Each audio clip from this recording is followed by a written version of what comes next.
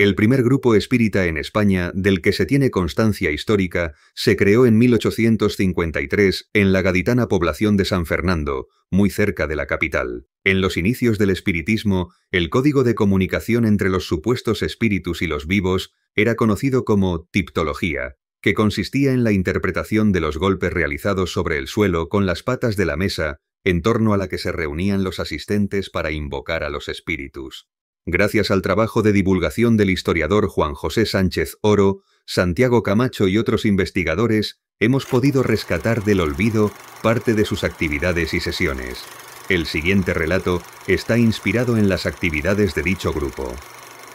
Era una noche oscura y tormentosa en el año 1853, cuando un grupo de personas se reunió en una vieja casona de San Fernando. Afuera, el viento aullaba como un lamento de almas perdidas, y los truenos resonaban como tambores de guerra. En esa misma época, cinco años antes, las hermanas Fox, en Nueva York, habían desatado una serie de fenómenos inexplicables que marcaron el inicio del movimiento espiritista.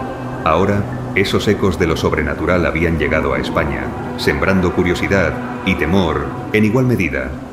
Dentro de la casona, un grupo selecto de la élite intelectual española se preparaba para lo inexplicable. Eran abogados, médicos, científicos y escritores, todos seducidos por la promesa de contactar con el más allá. En el centro de la habitación, iluminada solo por la tenue luz de velas parpadeantes, se encontraba una mesa de tres patas. Era una mesa común, pero esa noche se transformaría en un portal hacia el desconocido mundo de los espíritus. Las sombras danzaban en las paredes, formando figuras grotescas que parecían observar con ojos invisibles. El aire estaba cargado de una energía pesada, casi palpable, como si algo o alguien estuviera esperando al otro lado, listo para cruzar al mundo de los vivos. Las manos temblorosas de los participantes se posaron sobre la mesa. Un silencio sepulcral cayó sobre el grupo, roto solo por el sonido del viento y el crepitar de las velas. Se concentraron, sus pensamientos y deseos formando una red invisible que conectaba sus mentes con el más allá. Los minutos pasaron lentos, casi interminables, hasta que de repente la mesa comenzó a moverse. Primero fue un ligero temblor, como si algo estuviera probando su fuerza. Luego, uno de los extremos de la mesa se levantó y golpeó el suelo con un sonido seco y definitivo. Los participantes contuvieron el aliento. Otra pata se alzó y luego otra. La mesa giraba, bailaba, como poseída por una fuerza invisible y poderosa. Los ojos se abrieron con asombro y miedo cuando la pata derecha golpeó el suelo una vez, luego dos, luego tres veces. C, murmuró alguien. La mesa continuó su danza macabra. Cada golpe, una letra. Cada letra, un mensaje del más allá. Las palabras se formaban lentamente, cada golpe resonando en el pecho de los presentes como un eco del inframundo. Luz, esperanza, pero pronto las palabras se volvieron más oscuras, más inquietantes. Muerte, venganza, sufrimiento. Los participantes empezaron a sudar, el miedo tangible en la atmósfera.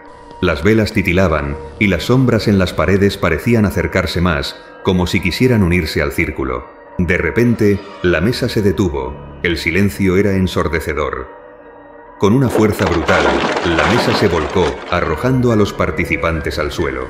Las velas se apagaron de golpe, sumiendo la habitación en una oscuridad total. Solo se escuchaba el sonido de la respiración agitada y el viento furioso afuera. En ese instante, uno de los participantes sintió una mano fría y esquelética posarse sobre su hombro. Un susurro helado se filtró en su oído. No deberían haberme llamado. Un grito desgarrador rompió el silencio, y cuando las velas se encendieron de nuevo, solo quedaba la mesa destrozada y un mensaje final escrito con sangre en el suelo. La puerta está abierta y no se cerrará. Desde aquella noche, los espíritus de San Fernando no encontraron descanso. Las mesas continuaron danzando, los mensajes siguieron llegando, y los gritos de los que intentaron contactar con el más allá resonaron en las noches oscuras de la vieja casona.